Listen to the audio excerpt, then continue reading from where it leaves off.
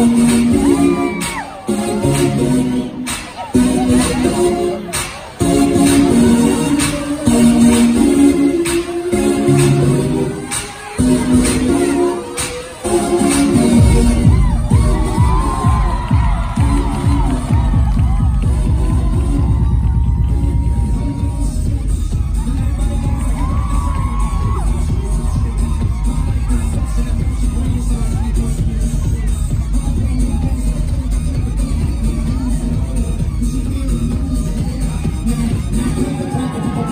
and back it up like a Tonka truck.